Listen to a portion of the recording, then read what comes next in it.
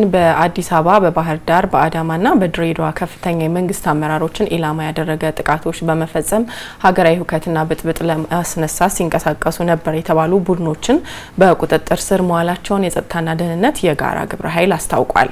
የጋራ ግብረ ኃይሉ ለፋና ብሮድካስቲንግ ኮርፖሬት በላከው መግለጫ እንዳስታወቀው በአማራና በሌሎች ክልሎች ውስጥ መቀመጫቸውን ያደረጉ እንዲሁም አዲስ አበባ ጭምር የሚገኙ ምሁራን፣ የሚዲያ ባለቤቶችና አክቲቪስቶችን ያካተተ ህቡዕ መዋቅር በሚስጥር ሲንቀሳቀስ እንደነበር ተደርሶበታል ብሏል። ዶክተር ወንደሰን አሰፋ፣ ረዳት ፕሮፌሰር ሲሳይ አውግቸው፣ ፕሮፌሰር ማዕረጉ ቢያቤን፣ ዶክተር መሰረት ወርቁ፣ ተስፋዬ ወልደ ማርያም፣ ተስፋዬ ኋላሸት፣ ፋሲል ሰለሞን፣ ልመን ከተማና መንበረ የተባሉ ግለሰቦች በህቡዕ አደረጃጀት ሲሳተፉና ሲያስተባብሩ በቁጥጥር ስር ውለዋል ብሏል። ሀገራዊ ለውጡን ለማስቀጠል በከፍተኛ የባለቤትነትና የኃላፊነት መንፈስ የሚንቀሳቀሰውን ሰፊውን የአማራ ህዝብ የማይወክሉትና አሁን የተፈጠረው አንጻራዊ ሰላም ያልተመቻቸው እነዚህ ጽንፈኛ ቡድኖች ህብረተሰቡ በአሁኑ ወቅት በከፍተኛ ጭቆና ውስጥ ይገኛል የሚል ቅስቀሳ በማድረግ በሃይማኖት፣ በብሔር እንዲሁም ከኛ ውጪ ሀገሪቷን ሌላ ማስተዳደር የለበትም በሚል የፖለቲካ ጽንፈኝነት ዓላማ ዙሪያ ደጋፊዎችን ለማሰባሰብ እየሞከሩ መሆኑን መግለጫው አመላክቷል።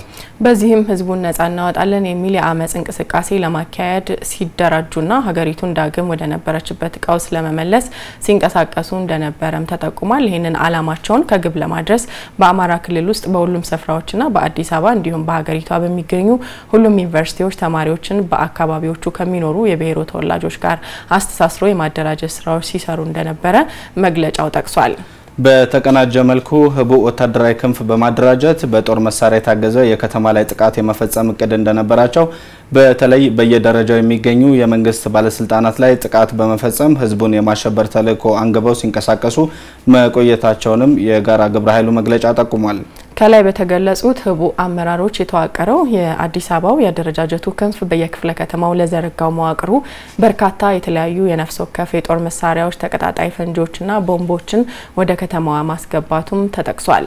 ከነዚህ ውስጥ ግዛት የተባለ ባህር ዳር ዙሪያ ቁንዝላ አካባቢ መቀመጫውን ያደረገና በአዲስ አበባ ውስጥ ለሚገኘው ህቡዕ ክንፍ የተለያዩ ሎጂስቲክስ የሚያቀርብ ግለሰብ በርካታ የእጅ ቦምብ በተለያዩ ክፍለ ከተማዎች ለሚገኙ የቡድኑ አባላት እንዲያስረክብ አቅጣጫ የተሰጠው ቢሆንም በተደረገው ክትትል በቁጥጥር ስር እንዲውል ተደርጓል ብሏል። በተጨማሪም አዲስ አበባ ጣፎ አካባቢ በሚገኝ የቡድኑ አስተባባሪ በሆነው ዳዊት አባቡ ቢተውና አዲስ አበባ ካራሎ አካባቢ ነዋሪ በሆነው ታደሰ ወይነው ተሰማ ላይ በተደረገው ክትትል የተለያዩ የጦር መሳሪያዎችና የወታደር ዩኒፎርሞች በቁጥጥር ስር እንዲውሉ መደረጉም ተገልጿል።